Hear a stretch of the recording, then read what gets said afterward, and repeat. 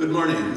I'm Pastor Dale Klimola, also Reverend Dr. Dale have a Doctor of Ministry degree from 1994. I am married to Gail. I have five children and about 15 grandchildren. Hopefully I'll get a couple more as time goes on.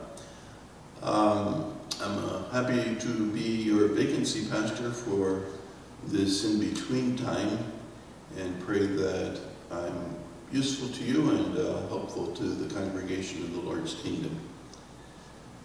We begin with the invocation. We begin in the name of the Father, the Son, and the Holy Spirit. Amen. Amen. This is a day which the Lord has made. Let us rejoice and be glad in it. From the rising of the sun to its setting, The name of the Lord is to be praised. Better is one day in your courts than a thousand elsewhere.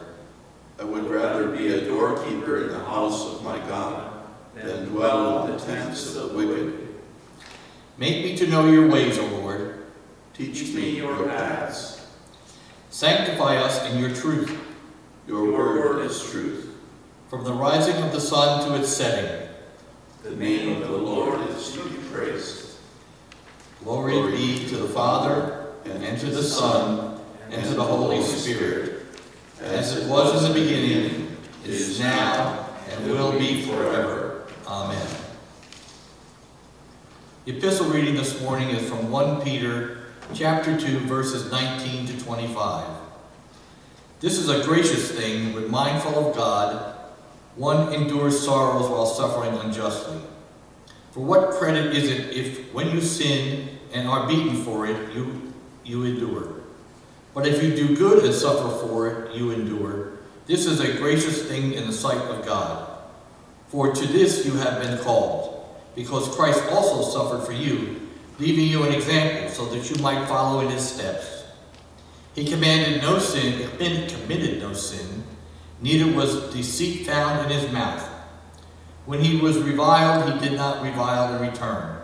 When he suffered, he did not threaten, but continued entrusting himself, uh, himself to him who judges justly. He himself bore our sins in his body on the tree, that we might die to sin and live to righteousness.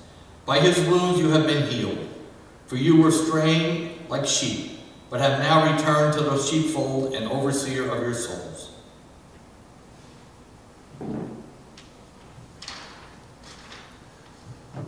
The Holy Gospel is a reading from John chapter 10. Jesus said, Truly, truly, I say to you, he who does not enter the sheepfold by a door, but climbs in by another way, that man is a thief and a robber. But he who enters by the door is the shepherd of the sheep. To him the gatekeeper opens. The sheep hear his voice, and he calls his own sheep by name and leads them out. When he has brought out all his own, he goes before them, and the sheep follow him, for they know his voice.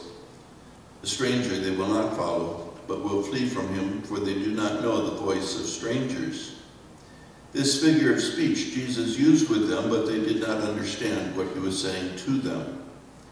And so Jesus again said to them, Truly, truly, I say to you, I am the door of the sheep. All who come before me are thieves and robbers, but the sheep did not listen to them. I am the door. If anyone, if anyone enters by me, he will be saved, and will go in and out and find pasture. The thief comes only to steal and kill and destroy. I came that they may have life and have it abundantly. This is the gospel of the Lord. Thanks be to God.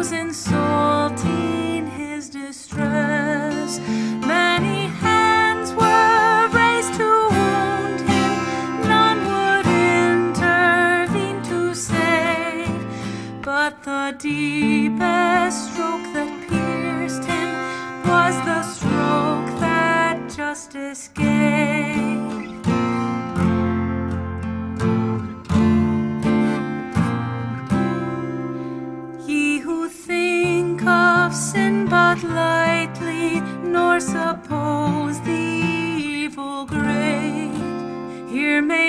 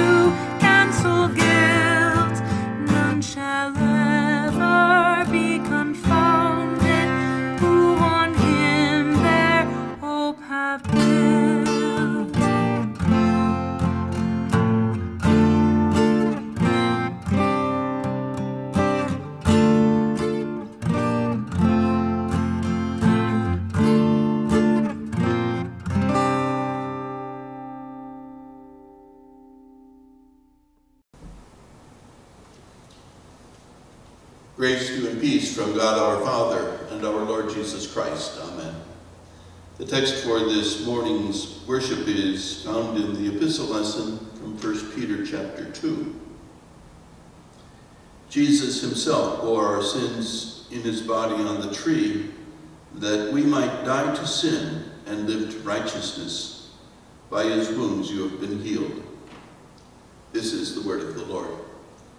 Dear friends in our Lord Jesus Christ, there's a program, I think it's on Antenna TV, called Wanted, Dead or Alive. It's a cowboy, cowboy show from back in the 50s, maybe early 60s, that are the exploits of a bounty hunter who is after the, the bad guys, uh, trying to keep the western part of the United States safe in that part of our nation's history. Jesus is one who also wants us dead or alive.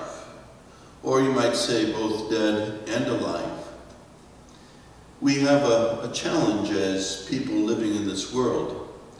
And that challenge is one where we live in the world, but we're called to not live of the world. In order to be a child of God, we live our lives not by the demands or by the example posed by the world in which you live, but rather we live by the example that is found in Christ Jesus, in his death and his resurrection, his perfect life of sinless suffering. And it's in that in which we find ourselves living and dead at the same time. Because we live as God's people, and we die as people of the world. It's just as Jesus did, as his life is called an example for us to follow. He suffered for you so that you might follow in his steps. He committed no sin, neither was deceit found in his mouth, but rather he suffered as a result of it, even though he was sinless. In our lives, we we live lives that are filled with sin. We sin by thought, word, deed. We sin by conscious effort. And we also sin without recognizing it or realizing it. We're called to repentance because our sin fills our lives and in our minds and our bodies, our desires. We're tempted to do that which is not pleasing to God, but rather that which is pleasing to self. We're called to die to that part of our lives. die to our sinful nature. But that's something that we really cannot do because sin is our nature. Perfect, perfect lives is the work of God, the work of Jesus, the work of our Savior. We in ourselves are not able to live the kind of life that God wants us to live. That's why Jesus said you must die to self and rise once again in the one who brings us the resurrection of the body. St. Paul put it this way in Romans chapter 6. Do you not know that you who have been buried, have been baptized into Christ Jesus, have been baptized into his death? Even as Jesus died and was buried in, the, in death, you too might live a new life in him. Our salvation, our lives, our hopes, our dreams, our everything is bound up in that which God has done for us in Jesus. It's in his nature, God's nature, to forgive and bring us new lives. As is said in the gospel lesson, I came that you may have life and have it abundantly. The new life is a life that is begun in baptism, begun when the Spirit of God is placed in our hearts and we live as people of God, no longer people of the world. But daily we struggle with it. Daily we're tempted to sin. And as a result, daily it's necessary for us to turn to our Lord for his promise of forgiveness and renewal of life. And at the same time, when we sin, we sin against others. And as the people of God, we're called to a life of repentance, where we confess our sins to one another, and in confessing our sins, find freedom by the forgiveness of sins. And so as a result of that, we are reconciled to one another. God was in Christ, reconciling the world to himself, not counting their trespasses against them. And so we have the freedom to be, to be the people of God who have died to sin, to be the people of God who have been raised to life, even as Jesus died and was raised again for your forgiveness and for mine. We're told by Peter that you were straying like sheep, but now you have turned to the shepherd and overseer of your souls. May that be true for you as well, that as we die to self, we're brought to life in Jesus our Savior. Amen. And may the peace of God, which passes all understanding, keep your hearts and minds in that faith to life everlasting. Amen. We confess to one another and to our Lord the second article of the Apostles' Creed. And in Jesus Christ, his only Son, our Lord, who was conceived by the Holy Spirit, born of the Virgin Mary, suffered under Pontius Pilate, was crucified, died, and was buried. He descended into hell. The third day he rose again from the dead. He ascended into heaven and sits at the right hand of God the Father Almighty. From thence he will come to judge the living and the dead. What does this mean? I believe that Jesus Christ, true God, begotten of the Father from eternity, and also true man, born of the Virgin Mary, is my Lord, who has redeemed me, a lost and condemned person, purchased and won me from all sins, from death, and from the power of the devil, not with gold or silver, but with his holy precious blood, and with his innocent suffering and death, that I may be his own, live under his kingdom, and serve him in everlasting righteousness, in innocence, and blessedness, just as he is risen from the dead, and lives and reigns into all eternity. This is most certainly true. We continue with the prayers. In peace, let us pray to the Lord. Lord, have mercy.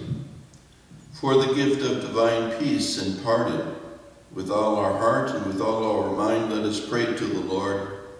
Lord, have mercy. For the Holy Christian Church, here and scattered throughout the world, and for the proclamation of the gospel and the calling of, of all to faith, let us pray to the Lord. Lord, Lord, have mercy. For this nation, for our cities and communities, and for the common welfare of all, all let us pray to the Lord. Lord, have mercy. For seasonable weather, and for the fruitfulness of the earth, let us pray to the Lord. Lord, have mercy. For those who labor, for those whose work is difficult and dangerous, especially those who are on the front lines of medical care for those with the COVID virus. We pray for Brandon and Hunter that in their military service they would be kept free of harm and danger. Let us pray to the Lord. Lord, Lord, have mercy. For all those in need, for the hungry and homeless, for the widowed and orphaned, and for all those in prison, let us pray to the Lord. Lord, Lord, have mercy. For the sick and for the dying, and for all who care for them, especially we pray for Roberta, Miriam, Sandy, Chris, John, Michelle, Joe, Courtney, Tony, Martin, Dwayne, Beth, Barbara, John, Lori, Neil, Todd, Steve, and Chris. Let us pray to the Lord. Lord, Lord, have have mercy.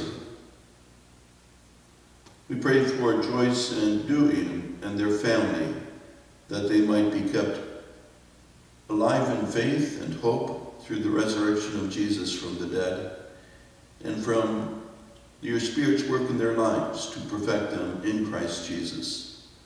Lord, in your mercy, hear our prayer. And finally, for those in need of body and soul, comfort and forgiveness, health and healing, let us pray to the Lord. Lord, have mercy. Christ, have mercy. Lord, have mercy. Almighty God, merciful Father, since you have awakened from the dead the shepherd of your sheep, grant us your Holy Spirit that we may hear the voice of our shepherd, and we may know him who calls us by name and follow where he leads.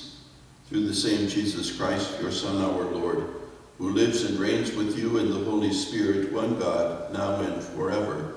Amen. Blessed Lord, you have caused all holy scriptures to be written for our learning.